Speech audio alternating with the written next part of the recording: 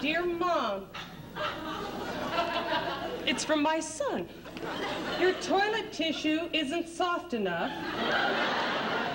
So I went to the library. Forever. Love, Bobby. He's such a card.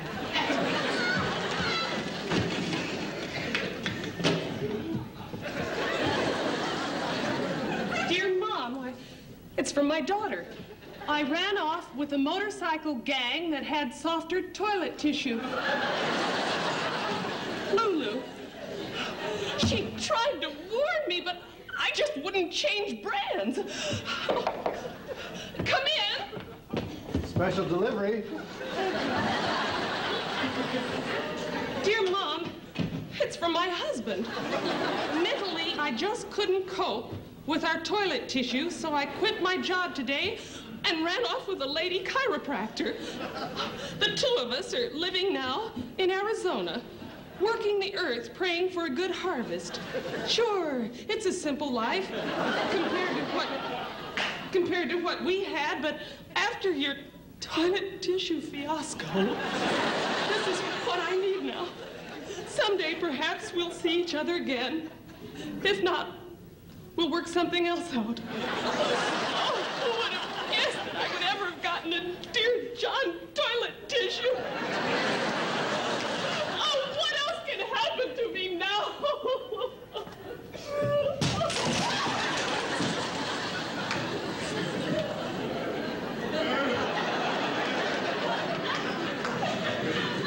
Dear Mom, it's from my neighbors. We don't like your toilet tissue, so get out of the neighborhood.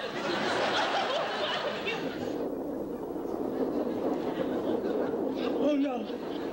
Oh no, not the Jolly Green Giant, too.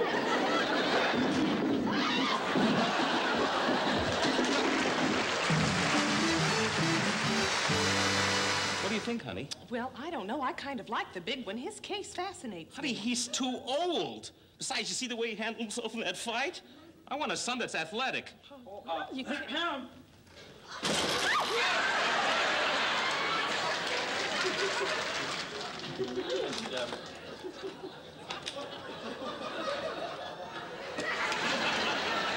Uh, that works a lot better when you have room outside. If you can see. Uh, do you mind if we just decide on our own? On your own? Yes. Uh, oh, sure. Go ahead. Thank you. Honey, I, still I think, well, one little boy that was. I- It, No, this is an important decision for both of you, and I don't want to interfere. You know, I mean, it's your life, and of course it is my life too. I, I don't know if you know what it's like not to have a mommy to cry out to when you're in pain. A lot of times when I was hurt, I would just sit there and yell. Didn't have a daddy to play catch with. I just take my ball and glove and then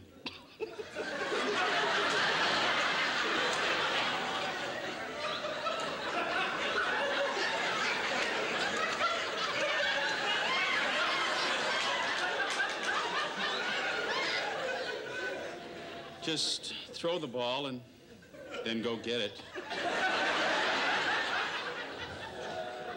And then throw it. Go get it.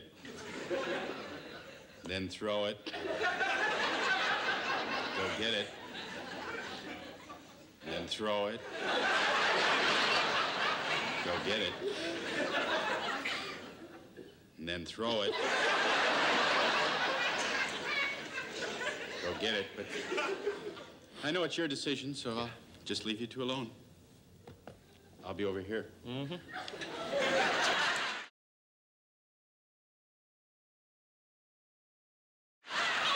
is, is a werewolf bite painful? It's about the same as the bite from a vampire. No, this is just ridiculous. There are no such thing as werewolves. Oh, listen very carefully to my story. I have twin sons. One son is a werewolf. The other son is a lead singer in a rock group. When the moon is full, you couldn't tell them apart. Go raise children. Well, I was just wondering if you're as flamboyant around the house as you are on television. I am a, a very good girl. Here. I can see that. I was raised very strict. And if I say something bad, my mother will wash my mouth out with soap.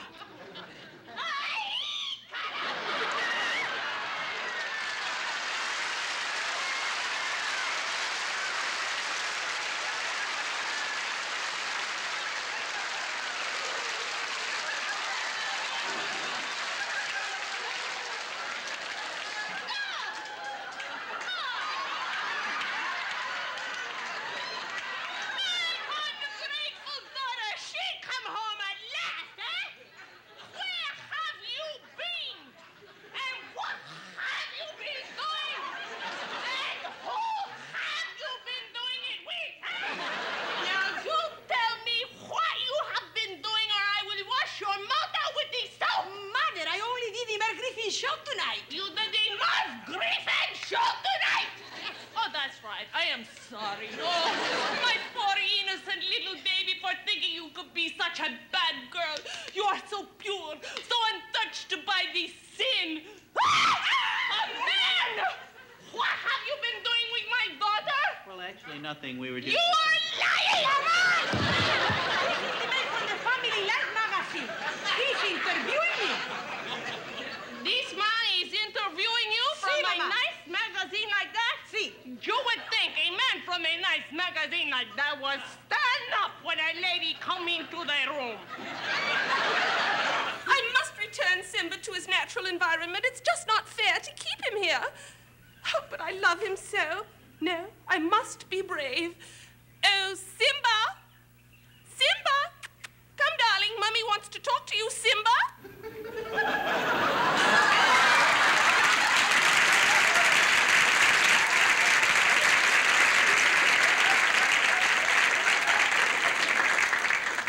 Dear Simba.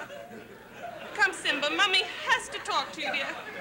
It's very important, Simba. Simba, there's something I must tell you. Sim. Oh. It's almost as if he knows he's so human. Simba. Simba, sit down, dear. Simba, listen to Mummy. Do you remember? Now think. Think way back, Simba. Harder. That's it, Simba. Think when you were a little lion cub, Simba, before Mummy and Daddy found you and brought you here and domesticated you. Well, Simba, you lived out there in the jungle. Yes. Yes, you did, Simba. Yeah, yes, you did. Yeah, I wouldn't lie to you. I'm not jiving you. Do you? Well, Simba, Daddy and I had a talk today, and, and we both feel that it's better for you if, if you go back out there and live amongst your own kind, Simba. It would be much better for you, too. Yes, Simba, you, out there, in the jungle. No, I'm not. You'd be much happier out there with your own kind, Simba. Please go. You must. You must go. Yes, you're right. I'm sorry, dear. I shouldn't send you out there on an empty stomach. Um, I know. I'll give you something that you'll have to get used to while you're out there in the jungle, Simba. Mm. Raw meat.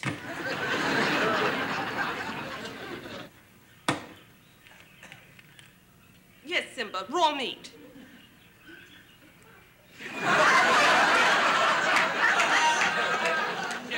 In the mouth. Simba. Simba, what? Oh, no. Simba, you must reconcile yourself to eating raw meat. I mean, out in the jungle, you're not going to find bowls of meat byproducts.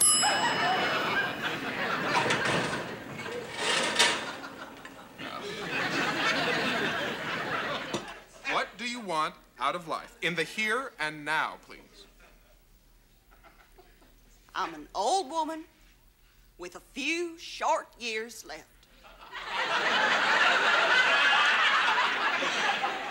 I would like my daughter to accept my household hints with a little good grace and without snapping my head off. I am only trying to help and make that two before shack of hers we live in fit for human beings. And I would like to watch the wrestling reruns on TV at 6.30 instead of them damn tattletales. And I would like to have a daughter who treats me with a little bit of respect instead of dragging the family name through the mud by going crazy.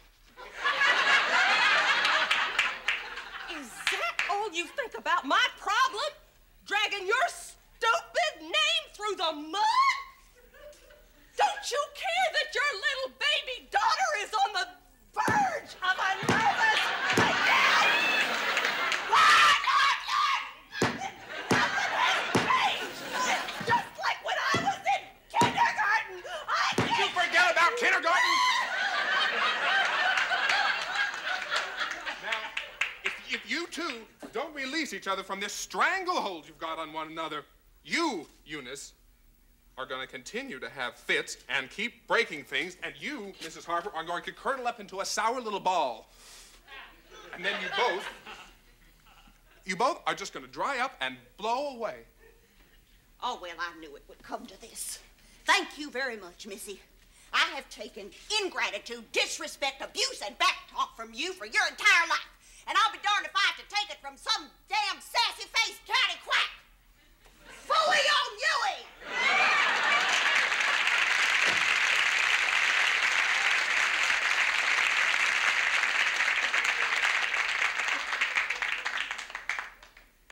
You see? Well, she's no picnic.